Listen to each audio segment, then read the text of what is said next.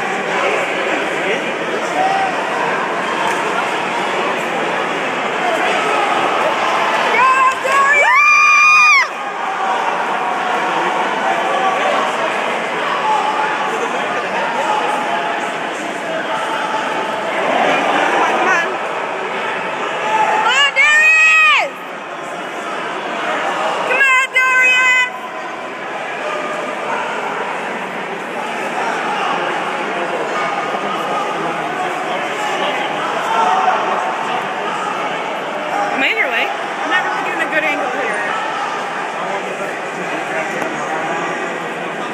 Good, I can't.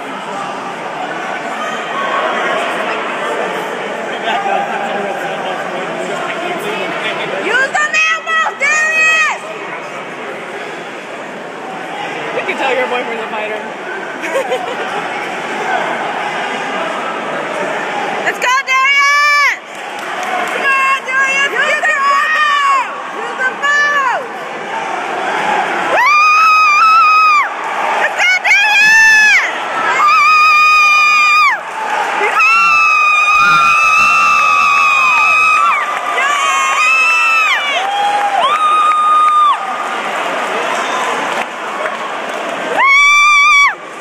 Oh, show. Oh, poor guy. I feel so bad for him.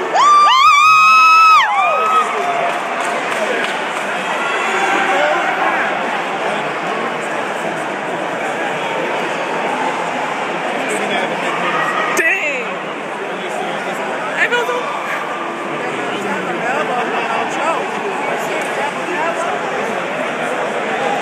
Oh, really?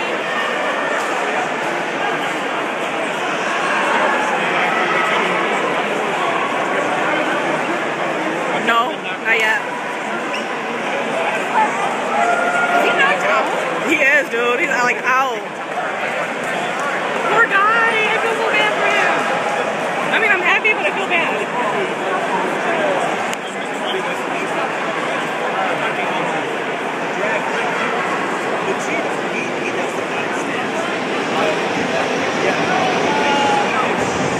Dang.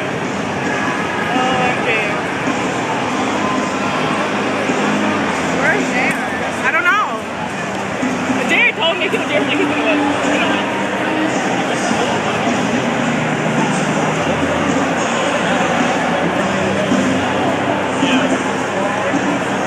Oops.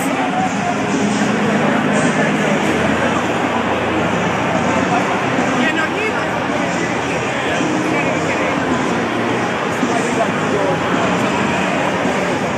That would be a good ass fight in ah, I don't even want to. Don't. That's not gonna happen. I don't know. Let's get this ass, baby. Of course. Duh. really? Bro, the knees broke. What about knees is vicious? He broke some dude's ribs with his knees and his elbow. He broke my ribs. Did he? No, he broke my back. I'm still recording. You know that, right. right?